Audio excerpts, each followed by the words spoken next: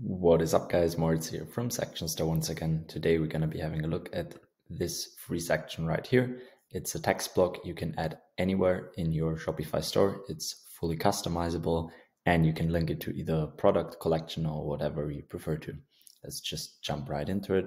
First thing you want to be doing is downloading the Section Store app right here in the Shopify App Store.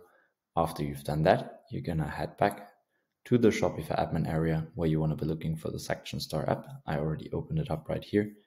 Then you want to click on sections, type in text block, and simply click on get this section and you should be ready to go. I'm gonna show you a few other sections we have in our store. You can either get the free ones or get the premium ones, which are $9 one-time purchase. So there are no hidden subscription fees or anything. So if you bought it once, you're gonna own it forever. Or you can get a whole bundle for a price which varies a little bit. And you have a bunch of sections where you can immediately build a fully customizable Shopify section store. So that's pretty good deal, I think. Ready, let's head back to the home area and install the theme, not the theme, the section to our Dawn Live theme and click on here. Then we should have it. Text block was successfully installed. Head up on online store. Click on customize right here to open up the editor. I've done that already. So I'm just gonna jump right over here, scroll all the way down click on add section, type in SS text, and you should see the text block right here. It should take us down all the way to it. I have a few other sections right here. Just gonna get rid of those. So yeah, here we have the default one. We can click on the whole thing and easily change the text of that. Let's say 50% of all backpacks. Change the color of that as well. Let's maybe make it red so it gets a bit more attention. Make the heading even bigger.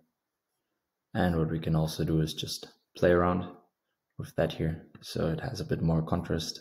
And we can add some rich text as well. Nice deal. We should see it immediately. And we can also change the font size of the rich text, but I'm happy with how it looks. So we can uh, head back here, click on the button, also make it the same color. The other one, X, red, that looks nice. And select the collection, we're going to select the backpacks collection and we can change the font size as well. So the whole thing gets a bit bigger. That looks good to me. And now we can do some more customizations to the whole block itself. So we can say the padding below the header gets smaller. So it's all a bit closer together. And the padding above the button is also something we can change.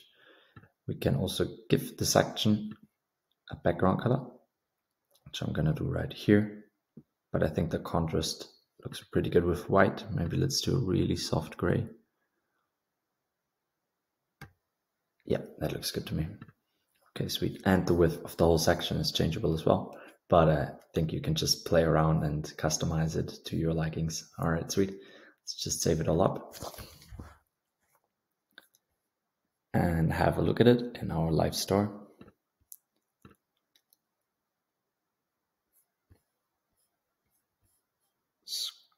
Scroll down here and here we have our section super easily to install and build and let's check if the collection link is actually working.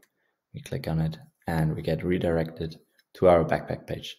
And that was it already. If you guys found that useful always feel free to leave a like and a follow. And if there are any questions feel free to reach out to me via email or in the comment section. Have a good one and peace out